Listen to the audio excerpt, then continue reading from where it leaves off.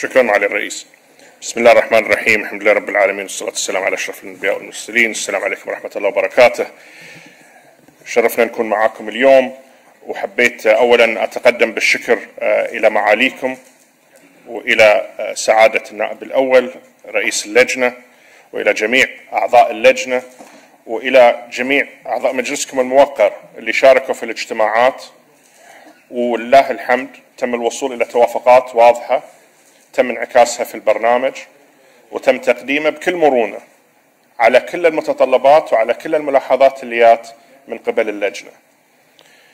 وإجابة على ما تفضل فيه آه، سعادة نائب آه، سعادة النائب الأول آه، رئيس اللجنة هذه كلها التوافقات تنعكس في الأدوات القادمة اللي هي الميزانية العامة القوانين اللي يتم وضعها والتأكيد كل التأكيد بأن محور المواطنين وكل ما فيه الخير للمواطنين هو الأولوية في كل العمل اللي بيتم مع مجلسكم الموقر آه، وينعكس بالضبط مثل ما هو في البرنامج. إعطاء الأولوية للمواطنين إعطاء الأولوية لتحسين المستوى المعيشي للمواطنين إعطاء الأولوية لرفع الأجور إعطاء الأولوية إلى رفع القوى الشرائية كلها من الأمور اللي تم وضعها في البرنامج ومن ذلك تنعكس في وضع الميزانية. تنعكس في وضع الميزانيات وتنعكس في قانون الميزانية وتنعكس في القوانين والتشريعات اللاحقة. وهذه نقطة جدا مهمة حبيت أكد عليها.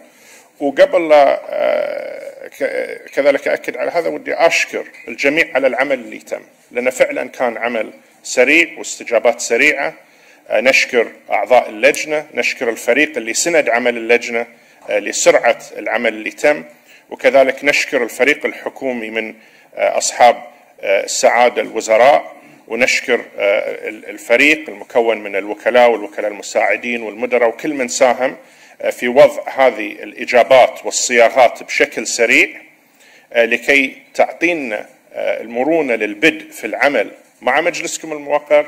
ويدا بيد مع مجلسكم الموقر عشان نعكس كل هذا اللي تم وورد في البرنامج في كل المشاريع اللاحقة مشروع الميزانية وقانون الميزانية ومشروع القوانين والقوانين اللي بتي منكم وإلى آخره وكله بيعتمد مع مجلسكم الموقر. وهذه بداية خير إن شاء الله وبداية عمل مشترك مع مجلسكم الموقر آه، والثقة المتبادلة مهمة والاحترام المتبادل مهم ونشكركم فعلا على الروح اللي تمت في هذه الاجتماعات وإن شاء الله هي آه، بداية للروح اللي بيسود العمل المشترك مع مجلسكم الموقر في وضع كل ما هو آه، في الخير آه، للمواطن وتنمية المملكة بإذن الله. شكرا معالي الرئيس. شكرا معالي الوزير وزير المالية والاقتصاد الوطني النائب الأول في عندك عرض.